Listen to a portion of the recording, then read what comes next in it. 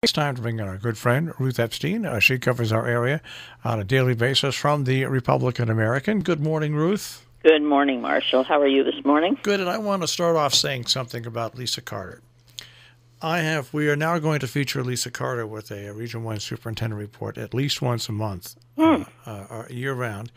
And I I want people to know that in the past two and a half weeks, I have spoken with Lisa, Lisa Carter off and on about various things that I've never been able to do with the superintendent for the past three and a half years. Really? She's really been very open with me, uh, willing to, to tell me what she can tell me and tell me what she can't tell me and not string me along. It has been so far just an amazing, amazing difference. So, well, good. Well, I'm glad open communication is key. Yeah, so yeah. that is wonderful. And speaking of that, you know, they are having this reopening team meetings and and people giving given tasks to figure out or hopefully figure out what to do if and when school opens. They're Um, doing and they're doing a lot of these meetings. Yeah, yeah, and I I uh, give them a lot of credit. I, it's it's very very difficult. It, it, they're dealing in such uncertainty. I wouldn't want to be part of this now. No, well, they're having these meetings so they can put together some sort of plan, which the state wants, and then the state will look at that plan. This is how horrible it is for the administrators, and then the state will send back to them what they recommend. It's uh, and it's going to be very interesting to see how it all works. Yeah, yeah, and it's a huge team of people uh, have come forward. It's really uh, amazing, from uh, school board people to community members to teachers to faculty to um, custodial staffs. It's uh, everybody's input, very important. But the whole country is dealing with this horrible dilemma.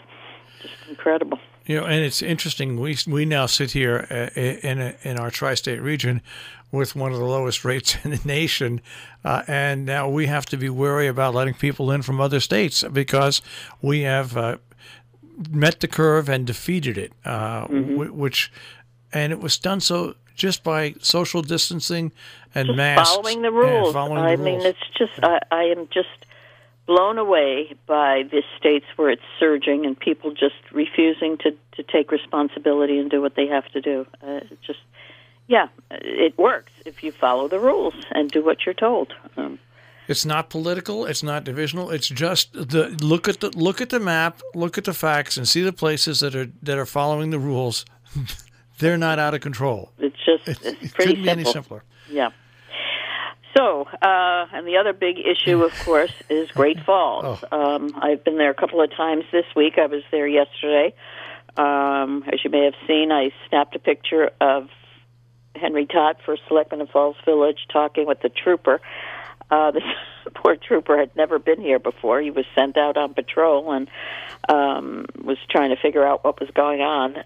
Um, the place was packed again. Uh, well, the um, lower parking lot across from the fire powerhouse was uh, packed, and people were just, you know, they were looking for a place to find some relief from the heat, and not realizing, um, well, not that area so much as the one up above, and how dangerous it is. But the whole thing is, is that when I try to tell people, once again, I've had people uh, send me uh, send me messages saying, uh, "You're anti-American. Uh, we're right. We have the right to go to these places. Their parks and everything."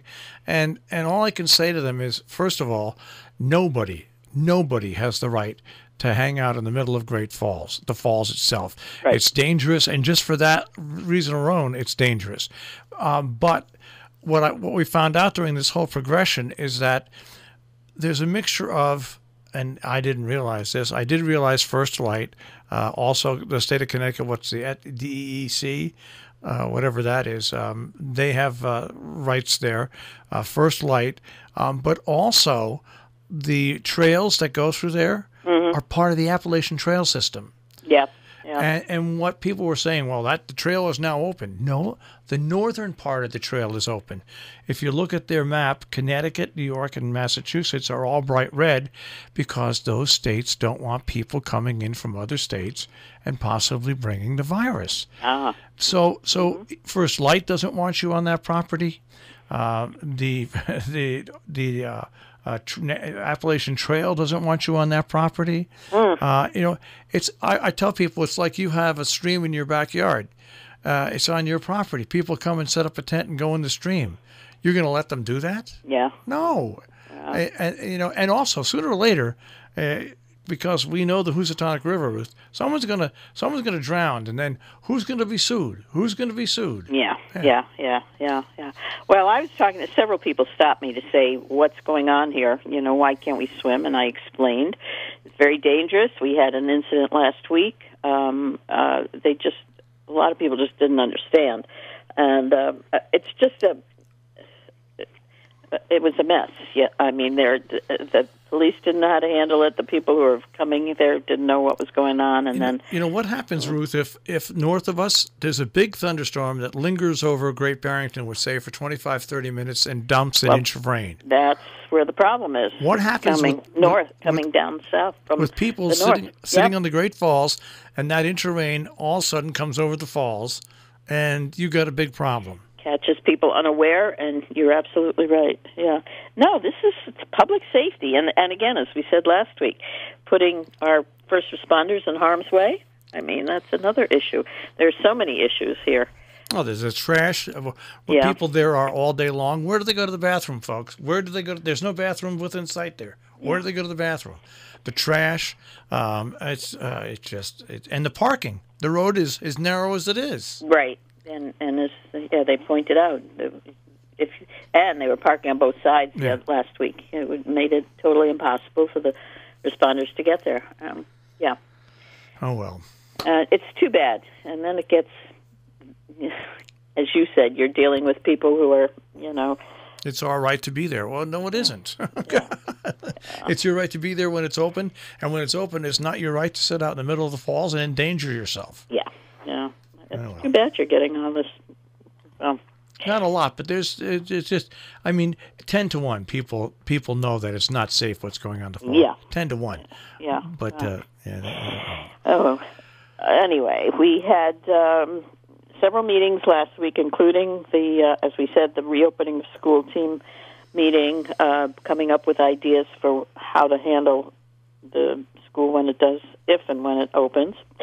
Uh, Cornwall Selectmen met. Uh, they're talk they talking about their whether they've um, come up with their goals. It's halfway through the year, and they discussed all their goals and what they want to do going forward. Um, a lot has to do with housing, uh, big issue in all these towns, and uh, of course the wastewater facility that they're trying to put into West Cornwall.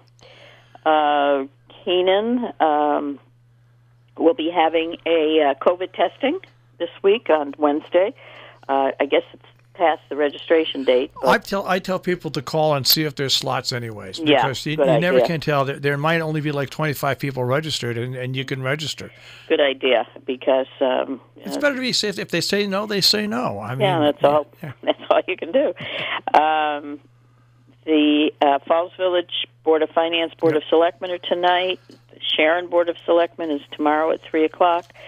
Sharon has a town meeting and uh, Thursday at six thirty. I think pretty much routine. And that that agenda is on the Sharon, Connecticut website. So- Yes, yeah, and so are all these meetings and uh, all the uh, links to Zoom. Um, all you have to do is go onto each town's website, go onto agenda. I mean, it can be a little bit daunting if you don't know how, um, and the um, Zoom links are all listed on those agendas. So, um, now, we- we also have a planning and zoning meeting tonight in North Canaan at seven o'clock, and they will let people in. They're limiting ten people. Yeah, I think they did that last month as well. Yeah. Um, and um, there's some, again, as I've said before, there have been some wonderful talks from the libraries. Uh, Hotchkiss Library, because it couldn't hold its uh, Yeah.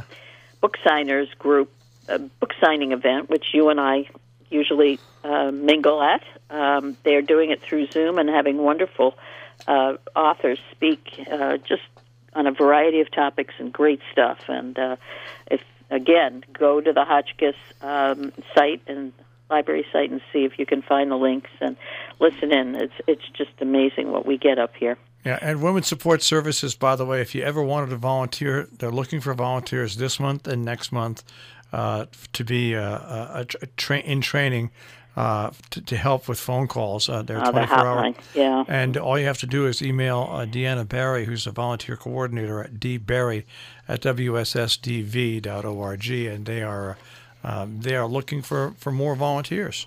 Um, I understand this time, you know, domestic violence is on a rise because Yeah. people are stuck in their houses and too much togetherness, and uh, unfortunately brings on that sort of thing, which is too bad.